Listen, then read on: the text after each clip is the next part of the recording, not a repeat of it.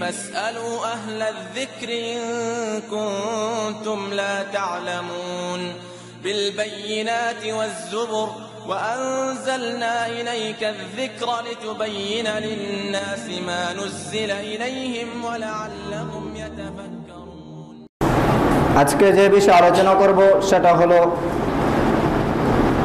সঠিক ইসলাম চিনার আলামত সমূহ আমরা কীভাবে সঠিক ইসলাম চিনব?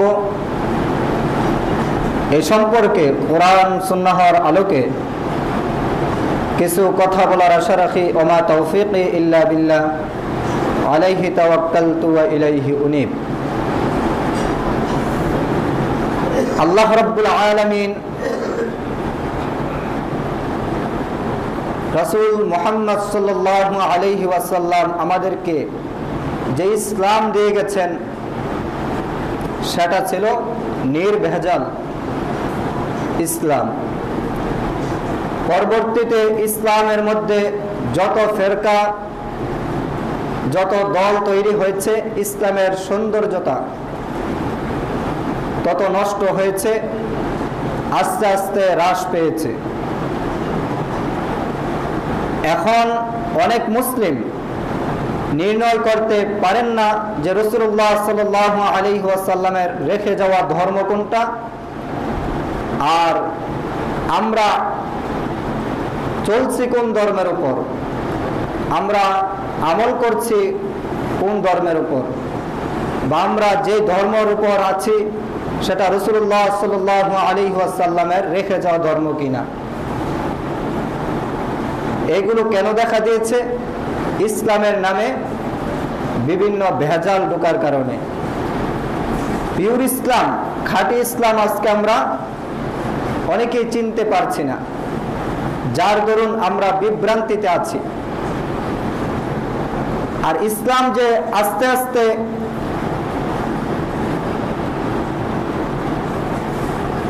অবক্ষয়ের দিকে যাবে, এটা রসুল্লাহ সাল আলী ওয়াসাল্লাম ও হাদিসে আমাদেরকে অবগত করিয়েছেন।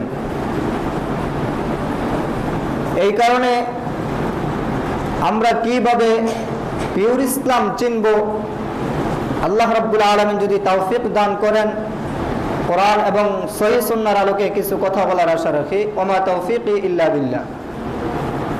মেশকাতের একশো একাত্তর নম্বর হাদিসে এসেছে রসুল্লাহ সাল আলহি ওয়াসাল্লাম ভবিষ্যৎবাণী করেছেন, ইসলামের নামে অনেক দল, উপদল তৈরি হবে। আল্লাহ রসুল বলছেন, বনি ইসরাইল বাহাত্তর দলে বিভক্ত হয়েছিল। আমার উম্মত তেহত্তর দলে বিভক্ত হবে উল্লুহুম ফিন্নার। সকলেই জাহান নামে যাবে, ইল্লা মিল্লাতা ওয়াহিদা, একটি দল ছাড়া। সাহাবাই কেরাম প্রশ্ন করলেন মানহিয়া ইয়া রাসূল আল্লাহ রাসূল, যে দলটি জান্নাতে যাবে নাজাত প্রাপ্ত দল কোনটি? রসুল্লাহ সাল্লাহ আলাইহি ওয়াসাল্লাম বলেছেন, মা আনা আলাইহি ওয়াসহাবি আমি এবং আমার সাহাবাই কেরাম যে আকিদার উপর যে আমলের উপর যে মতাদর্শের উপর প্রতিষ্ঠিত আছি, কেয়ামত পর্যন্ত যারা এই মতের ওপর পথের উপর আকিদা এবং আমলের উপর প্রতিষ্ঠিত থাকবে, তারাই নাজাত প্রাপ্ত হবে, তারাই জান্নাতে যাবে। তাহলে আমাদেরকে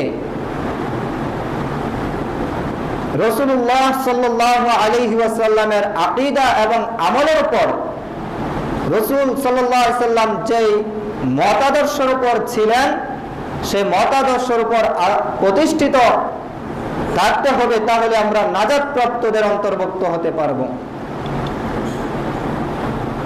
এমনিভাবে মেশকাতের একশো পঁয়ষট্টি নম্বর হাদিসে এসেছে, আল্লাহ রাসুল সাল্লাহ আলাইহি ওয়াসাল্লাম একদিন খুব মর্মস্পর্শী ভাষণ দিলেন। সাহবাইকেরাম বলছেন, আল্লাহ রাসুলের কথা শ্রবণ করে আমাদের অন্তর বিগলিত হয়ে গেল, অন্তর নরম হয়ে গেল। চক্ষু দিয়ে পানি জড়তে লাগল। এক সাহাবি বললেন, ইয়া রাসূলুল্লাহ, আপনার এই ধরব মাখা কথা শুনে আমরা বুঝতে পারলাম এটা আপনার শেষ বাসন। আপনি আমাদেরকে আরও কিছু নসিহত করুন। আল্লাহ রাসূল বললেন, তাহলে শোনো, মাইয়া আইস মিনকুম বাদি আমার পরে যারা জীবিত থাকবে, তোমরা অনেক মতানৈক্য দেখতে পাবে। তখন কি করবে? কোন মতানৈক্যের দিকে তোমরা দাবিত হবে না। কোন মতানৈক্যের মধ্যে তোমরা নিপতিত হবে না। সেটাকে গ্রহণ করবে না। তোমরা কি কি জিনিস গ্রহণ করবে? আলাইকুম বিসুন্নাতি। আমার সুন্নতকে আঁকড়ে ধরবে।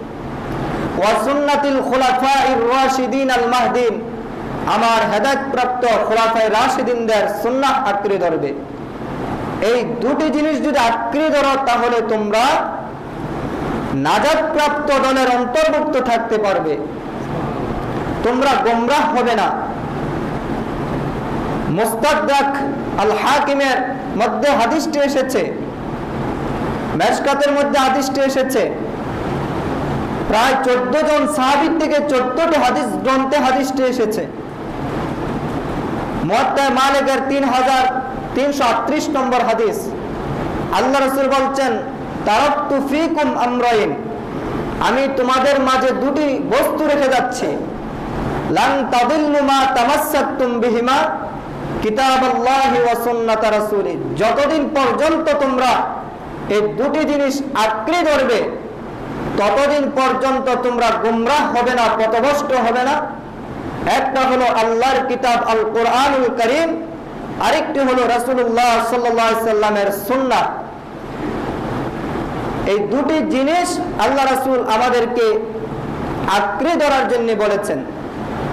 তাহলে এই তিনটা হাদিস দ্বারা আমরা বুঝতে পারলাম আল্লাহ রাসুল তিনোটার ক্ষেত্রে কি বলেছেন? মা আনা আলাইহি ওয়াসাবি আমি এবং আমার সাহাবাই কেরাম যেই মতাদর্শের উপর আছি। তারপর বলছেন, আমার সুন্নত আমার সাহাবিদের সুন্নত আঁকড়ে ধরবে। তারপর বলছেন, কোরআন সুন্না আঁকড়ে ধরবে। এই জিনিসগুলো যদি আমরা আঁকড়ে ধরি, আমরা আজীবন পিওর ইসলামের উপর থাকতে পারব। আর এই দুটা জিনিস থেকে যদি আমরা বিচ্যুত হই কোনো ব্যক্তির দোহাই দিয়ে, কোনো বড় আলেমের দোহাই দিয়ে, কোনো পীর ফকিরের দোহাই দিয়ে, তাহলে আমরা কত বস্ত্রের মধ্যে নিপতিত হব।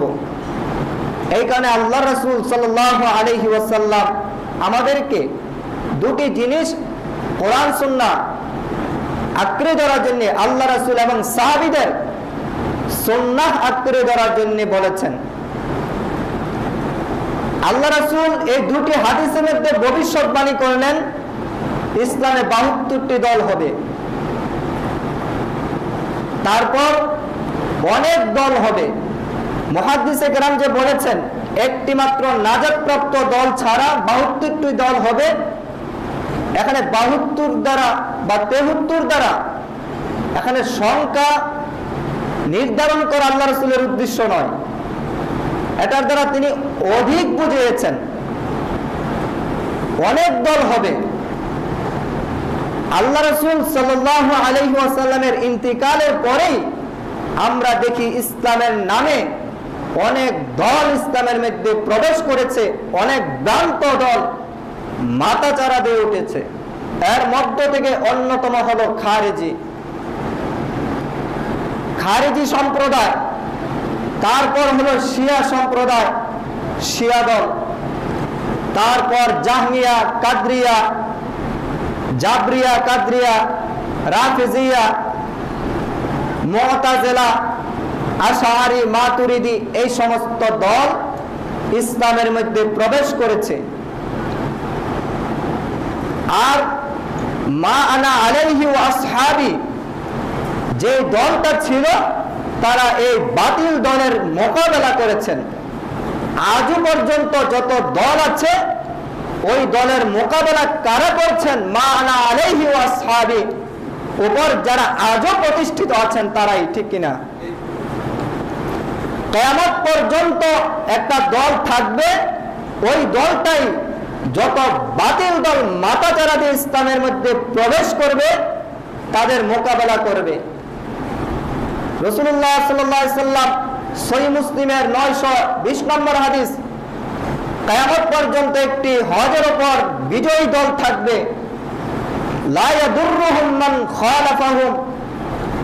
তাদের যারা বিরুদ্ধে বিরুদ্ধাচরণ করবে, তাদের কোনো ক্ষতি করতে পারবে না। হাত্তা আমরুল্লাহ, আল্লাহর আদেশ আসার আগ পর্যন্ত তারা হকের ওপর থাকবে। কোনো বাতিল তাদেরকে পরাস্ত করতে পারবে না। বাতিল তাদেরকে স্তব্ধ করতে পারবে না, তাদেরকে নির্মূল করতে পারবে না, তাদেরকে ধমন করতে পারবে না, তারা বীজের ওপর থাকবে থাকবে। এটা আল্লাহ রসুল সাল্লাম বলেছেন। আর এই দলটাই যত বাতিল দল মাতাচারা দিয়ে উঠবে, তাদেরকে প্রতিহত করবে। তারাই উন্নতের কাছে আবার সঠিক দিনটা, সঠিক ইসলামটা পিওর ইসলামটা তুলে ধরবে। আল্লাহ রসুলের ধর্ম কোনটা? আর তারা কোরআন সুন্নার নাম দিয়ে, ধর্মের নাম দিয়ে কোরআন সুন্নাকে বিকৃত করে কীভাবে দল তৈরি করে মানুষকে পথভ্রষ্ট করছে, এইগুলো উম্মতকে তুলে ধরে উম্মতকে সতর্ক করবে। সম্মানিত মুসল্লিবৃন্দ আজকে আমরা দেখছি আমাদের মাঝে ওই দলগুলো আল্লাহ রসুল থেকে এ পর্যন্ত যত দল তৈরি হয়েছে দলের অভাব নেই। প্রত্যেকটা দলই নিজেদেরকে সঠিক মনে করে নিজেদের আকিদা, বিশ্বাস, আমল নিজেদের সব কিছু নিয়ে উৎফুল্লিত, আনন্দিত। তারা নিজেদের মতবাদকে নিজেদের প্রতিষ্ঠিত, নিজেদের তৈরিকৃত ধর্মকে, দলকে তারা সঠিক মনে করে। এটাই তো আল্লাহ রব্বুল আলমিন সুরা আর রোমের বত্রিশ নম্বর আয়তে বলেছেন, কুল্লু হিজবিম বিমা লাদাইহিম ফারিহুন। কিয়ামত পর্যন্ত যত দল তৈরি হবে, সবাই তাদের নিজস্ব মতবাদ নিয়ে, নিজের দল নিয়ে, নিজেদের আকিদা, বিশ্বাস, আমল নিয়ে তারা আনন্দিত থাকবে। প্রত্যেকটা দলে তাদের মতবাদ নিয়ে প্রফুল্লিত, আনন্দিত। আল্লাহ আমাদেরকে কত আগেই জানিয়ে দিয়েছেন। আজকে আমরা দেখছি, নিজে যে দলের মধ্যে আছে, সে দল রসুল্লাহ ইসলামের জমানায় ছিল কিনা, নিজে যে আকিদার উপর আছে, যে আমলের উপর আছে, সেই আকিদা এবং আমল রসুল্লাহ সাল্লামের জমানায় ছিল কিনা, আল্লাহ রসুল সাহাবাই কেরাম সে আকিদা পোষণ করতেন কিনা, যে আমল করছে সে আমল করতেন কিনা এটা তারা তালাশ করে না, তারা নিজেদের আমল আকিদা নিয়ে প্রফুল্লিত, ঠিক কিনা? এটা একটু তারা তলে দেখে না। আমি যে আকিদাটা পোষণ করছি আল্লাহ সম্পর্কে, এই আকিদাটা রসুল্লাহাম সাহাবাই কেরাম পোষণ করতেন কিনা? আমি যে ধর্মের নামে, ইসলামের নামে সবের উদ্দেশ্যে একটা আমল করছি, সে আমলটা রসুল্লাহ সাল্লাম এবং সাহাবাই কেরাম করতেন কিনা? এটা তালাশ করে না। তারা ওই দলের প্রবর্তকের দোহাই দিয়ে, বড় বড় ব্যক্তিদের দোহাই দিয়ে, অধিকাংশ মানুষের দোহাই দিয়ে তারা সে আমলটা করে যায়, কিন্তু আল্লাহ রসুল সাল্লাম সাহাবাইকার করেছেন কিনা সেটা তালাশ করে না। তারা ওই আমল করে প্রফুল্লিত, সে আমল করে তারা আনন্দিত। জাল্লা কোরআন বলছেন, কুল্লু হিসবিম বিমা লাদাইহিম ফারিহুন। তারা আল্লাহ সম্পর্কে, রসুল সম্পর্কে যে আকিদা পোষণ করেছে করছেন সে আকিদা এবং আমল নিয়ে, সে আকিদা বিশ্বাস নিয়ে তারা প্রফুল্লিত। আল্লাহ রসুল সাহাবাই কেরাম সে আকিদার উপর প্রতিষ্ঠিত ছিলেন কিনা, আল্লাহ সম্পর্কে, রসুল সম্পর্কে সে আকিদা সাহাবাই কেরাম তাবে তাবে তাবে ইসলামের সোনালী যুগের মনুষ্যগণ সে আকিদা পোষণ করতেন কিনা সেটা তারা তালাশ করে না। নিজেদের থেকে সঠিক মনে করে। আর বাকি যত দল আছে, তারা সবগুলোকে গোমরা কাফের পথভ্রষ্ট মনে করে, ঠিক কিনা? আমি যে দলের উপর আছি, এটাই সঠিক। এর বাইরে যা আছে সব গুমরা পথভ্রষ্ট। আমি যে আমলের উপর আছি, এটাই সঠিক। বাকি যারা আমল করছে, আমার মতো করছে না। এরা ভ্রান্ত আমল করছে, এরা ভুয়া আমল করছে। এরা আমল করছে না। এটাও সবাই মনে করে। নিজেরটাই সঠিক, আর বাকি সব বেঠিক। আমি একমাত্র মুসলিম, আমার দলের মধ্যে যারা আছে তারাই মুসলিম, বাকি সব গোমরা কাফের। এটাও কিন্তু ভালো লক্ষণ না। আজকে আমাদের সমাজে এই দলা দলাদলির কারণে, ফেরকাবাজির কারণে এমন অবস্থায় গিয়ে আমরা উপনীত হয়েছি পদর্পণ করেছি। আজকে আমরা নিজেদেরকে ছাড়া কাউকে সঠিক মনে করতে আমরা চাই না। আমাদের বিবেক বাদে। তুমি কোরআন সুন্না দিয়ে মাপো, যদি তোমারটা কোরআন সুন্নার মানদণ্ডে উত্তীর্ণ হয়ে যায়, তুমি আলহামদুলিল্লাহ বলো, তুমি যে সঠিক তাতে কোনো সন্দেহ নাই। কোরআন সুন্নার মানদণ্ডে মাপার পরে যদি সেটা কোরআন সুন্নাহর মানদণ্ডে উত্তীর্ণ না হয়, মনে করো তুমি আস্তাক ফিরুল্লাহ তাওবা করে ফিরে আসো, তুমি ভুল পথে আছো। কিন্তু কাউকে কাফের বলতে যেও না, কাউকে গোমরাহ বলতে যেও না, তাহলে কিন্তু সেটা তোমার দিকেই ফিরে আসবে। এটা কিন্তু কোনো মুসলিমের খসলত নয়। এই খসলত হলো ইহুদি এবং খ্রিস্টানদের। মুসলিম কেন তুমি? ইহুদি খ্রিস্টানদের খসলত গ্রহণ করতে গেলে। তুমি সুরায় বাকারার একশো তেরো নম্বর আট খুলো। আল্লাহ রাব্বুল আলমিন সেখানে ইহুদি এবং খ্রিস্টানদের স্বভাব তুলে ধরেছেন। ইহুদিরা বলে, ওয়াকালাতি ইয়াহুদু লাইসাতিন নাসারা আলা শাই। ওয়াকালাতিন নাসারা লাইসাতিল ইয়াহুদু আলা শাই। ইহুদিরা বলে, খ্রিস্টানরা সঠিক ধর্মের উপর নাই। আর খ্রিস্টানরা বলে, ইহুদিরা সঠিক ধর্মের উপর নাই। ইহুদিরা বলে খ্রিস্টানরা কাফের, খ্রিস্টানরা বলে ইহুদিরা কাফের। আছেন এই স্বভাব আমাদের মাঝে আজকে। এই স্বভাবটা কার? ইহুদিদের। কেন আজকে স্বভাব তোমার মাঝে আসলো? তুমি দেখো তোমার আমল কোরআন, সুন্নার সাথে মিলে কিনা।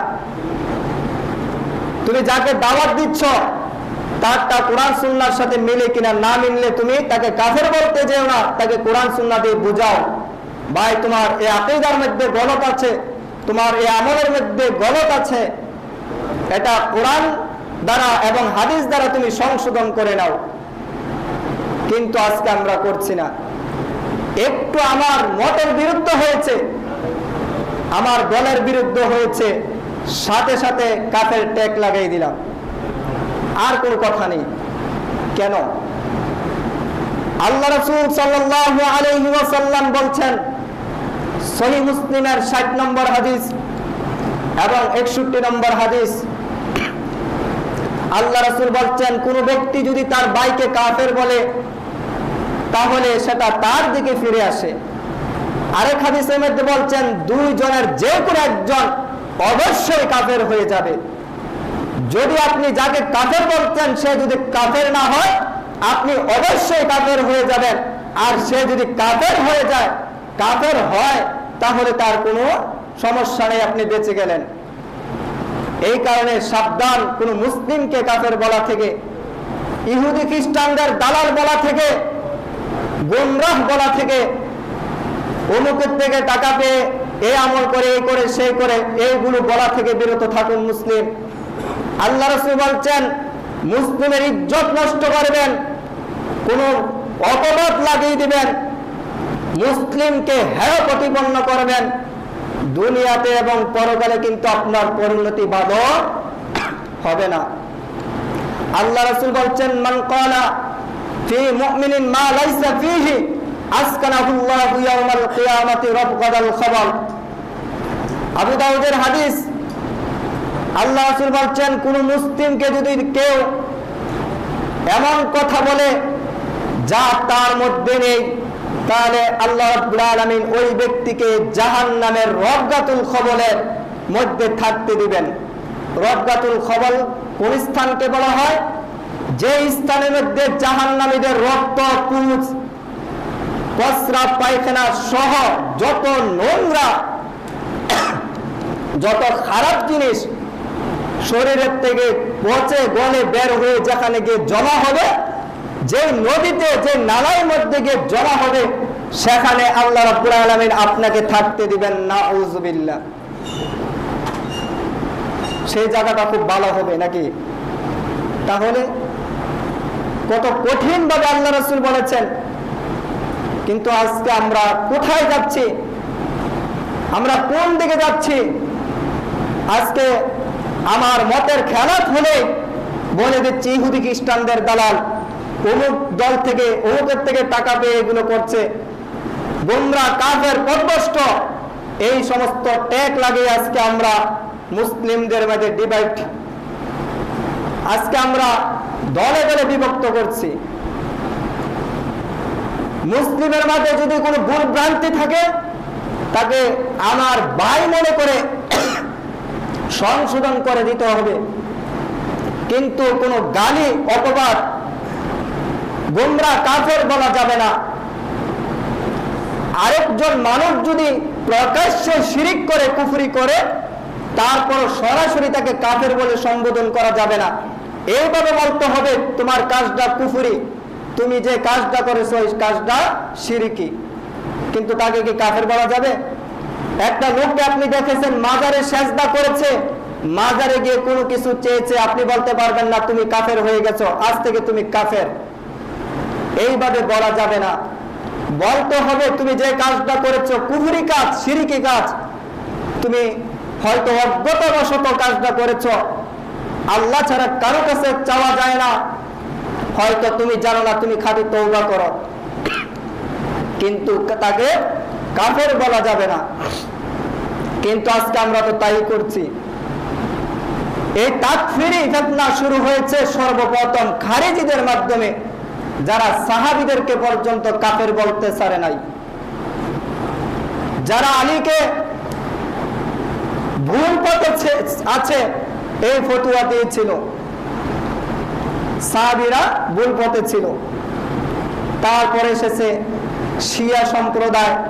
এরা বলে আহলে বাইত ছাড়া, হাসান, হুসাইন, আলী, ফাতেমা ছাড়া বাকি সব সালমান ফার্সি, এরা ছাড়া বাকি সব সাহাবি কাফের হয়ে গেছে আল্লাহ ইয়াজুবিল্লাহ তাকফিরি ফেতনা সেখান থেকেই শুরু হয়েছে।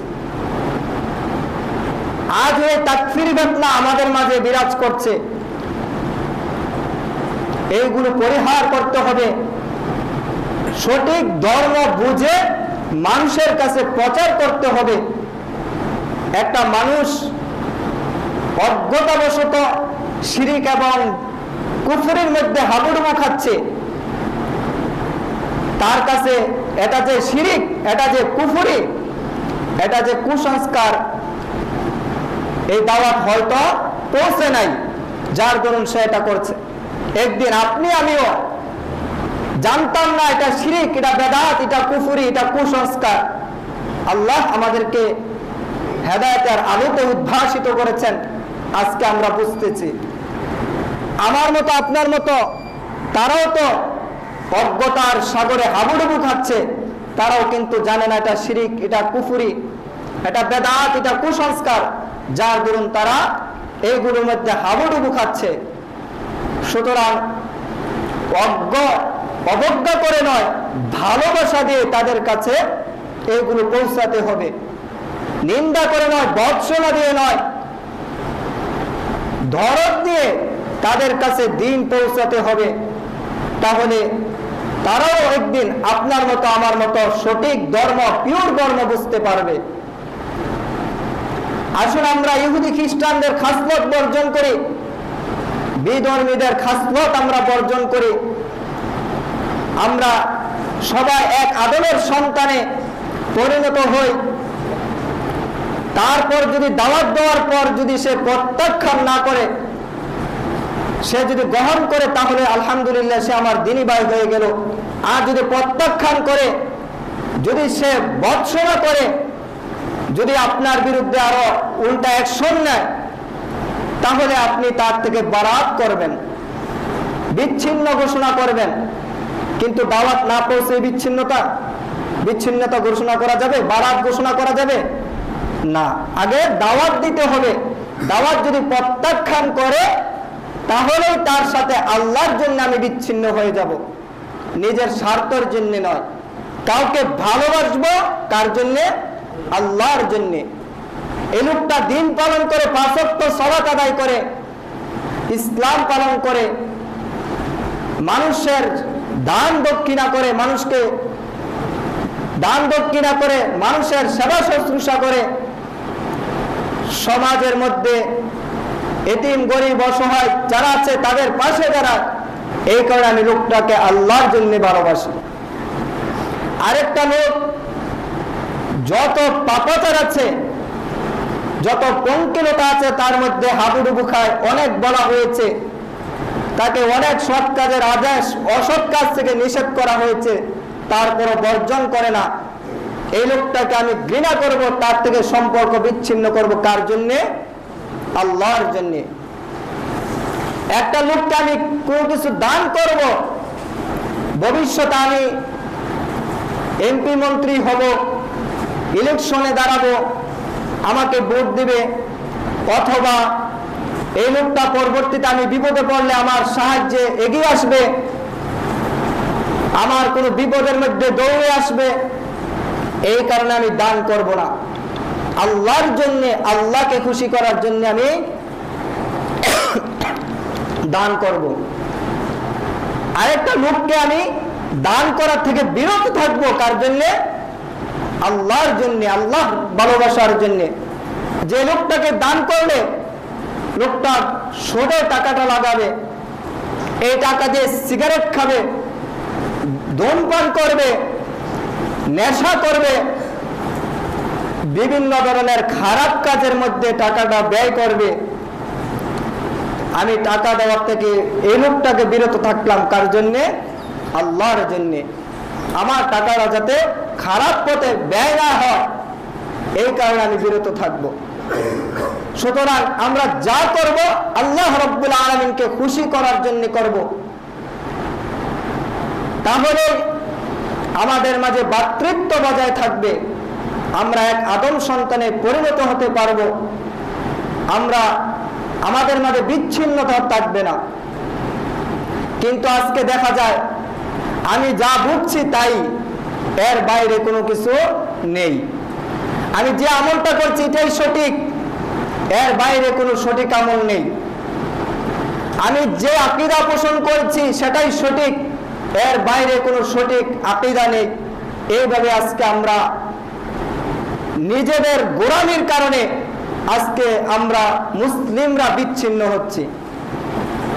আমি যে মাঝহাবের উপর আছি, সেটাই সঠিক। এর বাইরে যতই হাদিস থাকুক, যতই সহি আল্লাহ রসুল থেকে বাণী থাকুক, সেটা আমল করা যাবে না, সেটা মানা যাবে না, সেই গোলামি করে আজকে আমরা মুসলিমদেরকে বিচ্ছিন্ন করছি। আপনি একটা আমল করছেন, হাদিস অনুযায়ী করছেন, করুন, তাতে কোনো বাধা নেই। যদি সৈয়াদিস দ্বারা প্রমাণিত হয়ে যায়, দুনিয়ার কেউ বাধা দিতে পারবে না চায় তার মতের সাথে বনুক আর না বনুক। কিন্তু আজকে আমরা দেখছি, আমার আমলের মতো আমলটা হয় নাই, সাথে সাথে বাধা। বললাম বা এটা বুখারিতে আছে, মুসলিম আছে আবুদাউদে আছে, ইবনু মাজাতে আছে। পঞ্চাশটা হাদিসের কিতাবের নাম বলে খণ্ড নম্বর, পৃষ্ঠা নম্বর, হাদিস নম্বর সহ বলা হয়েছে। বলছে, এটা সমাজে নাই, আমাদের মাঝহাবে নাই, তুমি কেন আমল করো? এটার নাম ঐক্য নয়।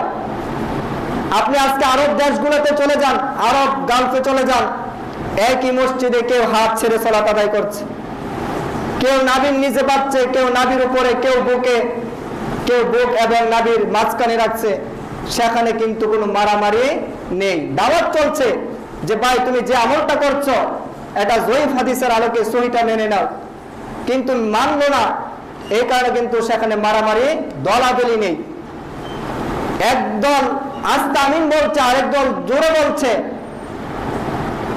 যারা হাজি, তারা দেখেছেন, যারা বিভিন্ন দেশ ঘুরেছেন, দেখেছেন, সেখানে কিন্তু কোনো মারামারি নেই।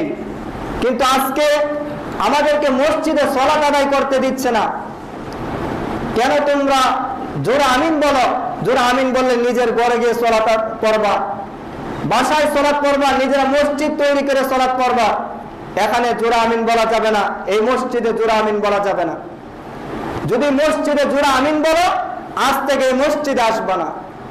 আল্লাহর ঘর থেকে তাড়িয়ে দিচ্ছে। যারা তাড়াচ্ছে তারা নিজেদের মাঝহাবের ফতোয়াটা কিন্তু তালাশ করছে না।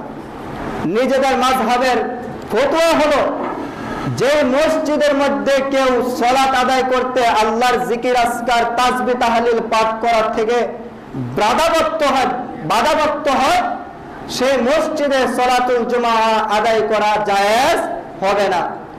আপনি হানাফি মাযহাবের যত বড় বড় ফতুয়ার কিতাব আছে কিতাবুল জুমা জুমার অধ্যায়টা খুলে দেখবেন। লেখা আছে, জুমার সলাত আদায় হওয়ার জন্য দ্বিতীয় নম্বর শর্ত হলো ইজনে আম হওয়া। ব্যাপক অনুমতি থাকা, কেউ বাধাপ্রাপ্ত না হওয়া। তাহলে আজকে যারা বাধা দিচ্ছে, মসজিদে সলাৎ আদায় করতে দিবে না, তাদের জুমার সলাৎ হচ্ছে, তাদের মাঝহাবের ফটো অনুযায়ী তো হচ্ছে না। যদি বলা হয়, ভাই, এ হাদিস বুখারিতে রয়েছে এ হাদিস মুসলিমে রয়েছে। এ হাদিস তিরমিজি ইবনু মাজাহ সহ বিভিন্ন হাদিস গ্রন্থে রয়েছে। রসুলের এই সুন্নার উপর আমল করতে পারব না। আপনি একটা আমল করছেন, আমি আরেকটা করছি, সমস্যাটা কি? তারপরেও দেখা যায় তার এই কথা তাদের অন্তঃক্ষরে অন্তঃক্ষরণে ঢুকে না। আজকে এইভাবে মুসলিমদের মাঝে বিচ্ছিন্ন করা হচ্ছে।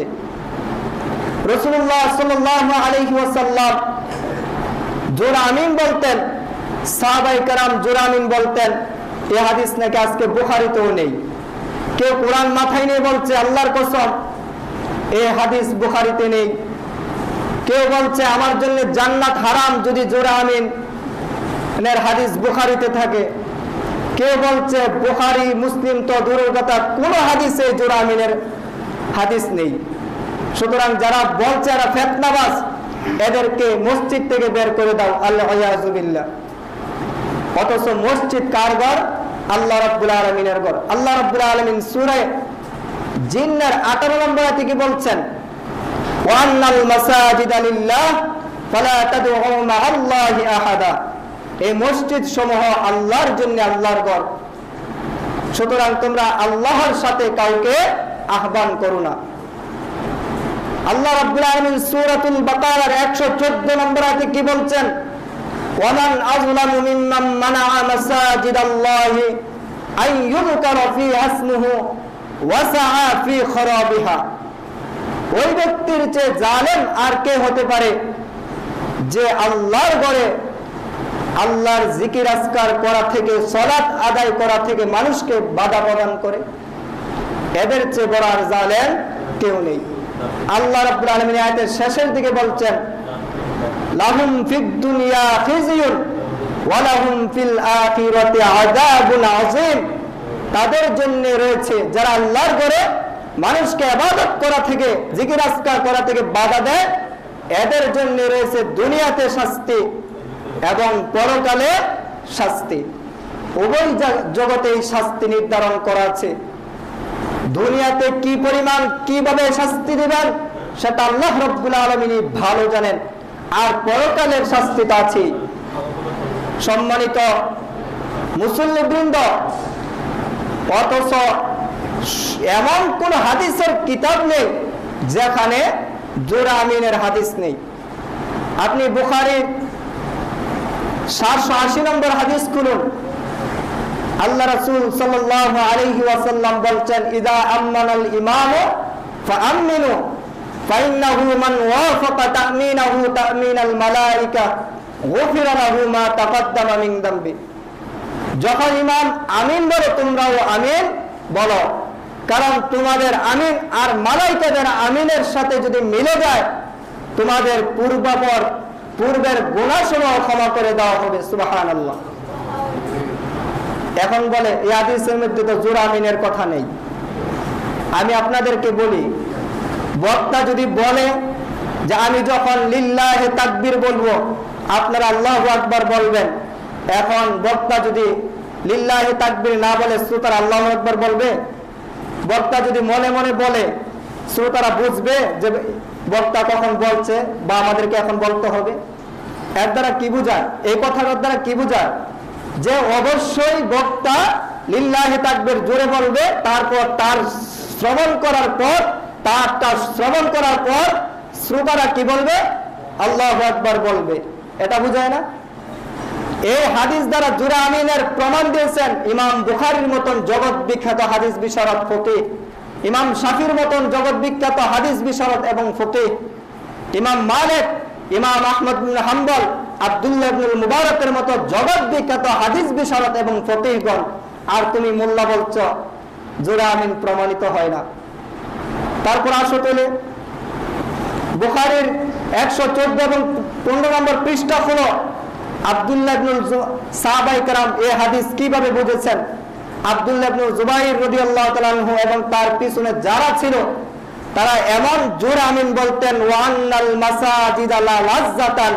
মসজিদগুলো বেজে উঠতো, মসজিদের মধ্যে গুন গুন করে আওয়াজ সৃষ্টি হতো, সুবহানাল্লাহ।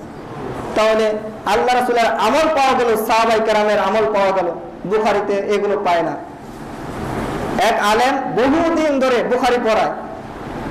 আমি একদিন বললাম, আমাকে বলছে যে, তুমি যেভাবে হাত বাঁধো, কোথায় আছে? আমি বললাম, এটা তো বুখারিতে আছে।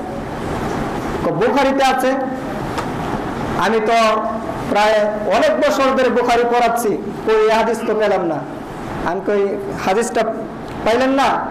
তাহলে আপনি, আমি হাদিস নম্বর বলে দেই, আজকে কে খুলবেন? মিশুরি ছাপা অথবা হাদিস নাম্বার লাগানো আছে যে কোনো বুখারিতে খুলবেন। সাতশো চল্লিশ নম্বর হাদিসটা খুলবেন, ওয়াইল ইবনে হুজুর থেকে আছে যে, আল্লাহ রাসূল কানা নাস ইউমারুনা আইয়াবা আর রাজুলুল ইয়াদাল ইউমনা আলা দিনিল ইসরা ফিস যে সালাতের মধ্যে লোকদেরকে নির্দেশ দেওয়া হতো ডান হাতকে বাম হাতের জিরার উপর রাখার জন্য। আর জিরা পৃথিবীর এমন কোন ডিকশনারি নেই, অভিধান নেই যে জিরা এই আঙ্গুলের আগা থেকে এই কড়ি পর্যন্ত জিরা বর্ণে উল্লেখ করা হয়েছে। হাদিসের ইমামগণ এই জিরার ব্যাখ্যা এটাই করেছেন। তাহলে এইভাবে হাত রাখলে কোথায় যায়? তারপর আমাকে ফোন দিচ্ছে, ফোন নাম্বার দিয়ে আসলাম, ইমো নাম্বার দিয়ে আসলাম। যদি আপনি না পান, আমি ইমুতে আপনার হাদিস নাম্বারগুলো, খণ্ড নম্বর, পৃষ্ঠ নম্বর আমি দিব। তারপর আমাকে ফোন করছে, জাইনুদ্দিন ভাই, আসলে বোখারি পড়াচ্ছি ঠিকই, কিন্তু বোখারির কোথায় কি আছে আমরা জানি না। এই অবস্থা। এইগুলোতে আমরা আহমুল হাদিসগণ, কোরআন সুন্নার অনুসারীগণ, যেই বিষয়ে আমল করুক যা আকিদাগত হোক, আমলগত হোক তারা হাদিস ছাড়া কোরআনের কোরআন সুন্নার দলিল ছাড়া আমল করে না। এটা অবশ্যই আপনাকে মেনে নিতে হবে। পৃথিবীর কে কীভাবে আমল করে আমি জানি না, কিন্তু যারা কোরআন সুন্নার উপর চলে, তারা যে কোনো আমল করুক না কেন, কোরআন সুন্নার বাইরে কোনো আমল করে না, ইনশাআল্লাহ। তাহলে তুমি পাও আর না পাও, জেনে রাখো তারা যা করছে, অবশ্যই কোরআন এবং হাদিস মোতাবেকই করছে। এই কারণে আসুন আমরা বোঝার চেষ্টা করি। আমিনের ব্যাপারে কুতুবে সিত্তাতে বহু হাদিস রয়েছে। হাদিস নম্বর বলতে গেলে অনেক সময় দরকার, আমি আর বলছি না। আল্লাহ তারা আমাদের সকলকে বোঝার এবং আমল করার তৌফিক দান করুক সকলে, আমিন। আল্লাহ রব্বুল আলমিন আমাদের সকলকে এক আদমের সন্তান হয়ে, ঐক্যবদ্ধ হয়ে জীবন যাপন করার তৌফিক দান করুক সকলে, আমিন। আল্লাহ রব্বুল আলমিন আমাদের থেকে ভেদাভেদ, মতামত দূর করে কোরআন সুন্নার পথে প্রতিষ্ঠিত হওয়ার তৌফিক দান করুক সকলে, আমিন। ওয়া বিহামদিকা, আশহাদু আল্লা ইলাহা ইল্লা আনতা আস্তাগফিরুকা ওয়া আতুবু